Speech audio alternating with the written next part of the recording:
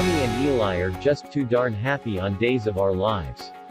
They're married, they've got their twins, their jobs are going great, and wacky Aunt Paulina is writing them checks. Life couldn't be better. But this is Salem, which means life is destined to get worse. What's the first thing that's going to throw them off track?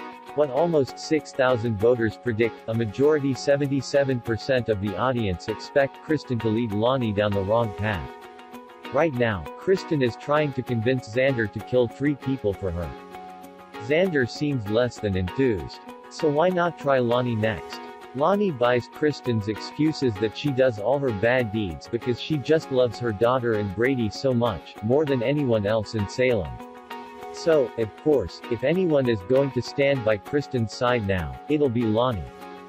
And Eli will have opinions about it.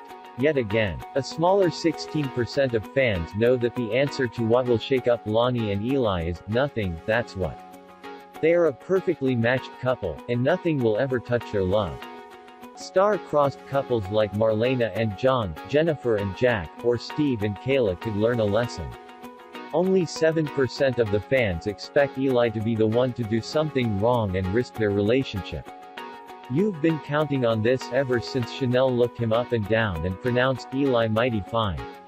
We know how this game goes. It's only a matter of time before Chanel moves in with Eli, and moves in on Eli. Will Paulina be able to write a check to fix that? Days of Our Lives airs weekdays on NBC. Check your local listings for airtimes.